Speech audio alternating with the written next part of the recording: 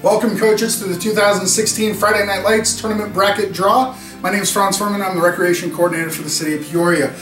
All games for the tournament are going to be held on Friday, April 15, 2016 at Rio Vista Community Park.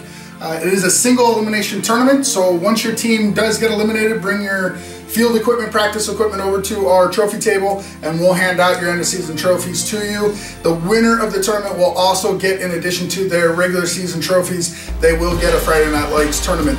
Um, just so we know, in years, in seasons past, uh, the games have been shortened as we've gotten later in the evening. No games will be shortened this this time around, so all games will be 20 minute halves. The first two teams that we're going to draw out of our fishbowl today are going to be the two teams that are going to get a bye uh, in the, the, 6 o'clock time slot. The, their first game will be at 7. The remaining four teams after that will be matched up together for our 6 p.m. games. All right, without further ado, let's pick our first team.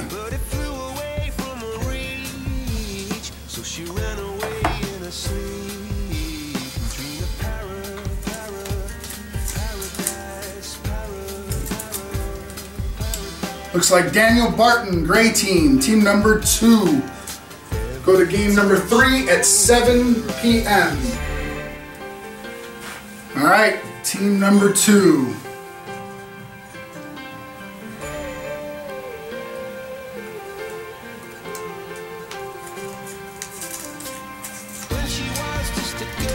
Will be team four, Justin Sports Trot, our red team. Game number four, 7 p.m. on the East Field. All right, so for our two 6 o'clock matchups. First team selected.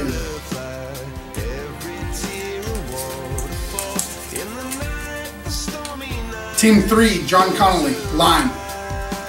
Game 1, 6 p.m., West His opponent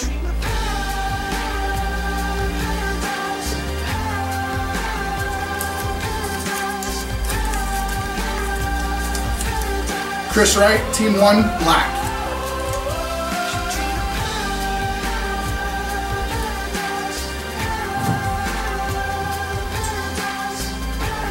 For the home team on the East Field at 6 p.m.,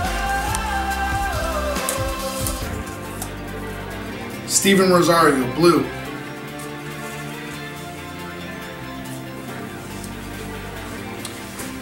And finally, the away team against Steven Rosario, Team 5, Kevin Wright, yellow. Good luck to everybody. See you on April 15th.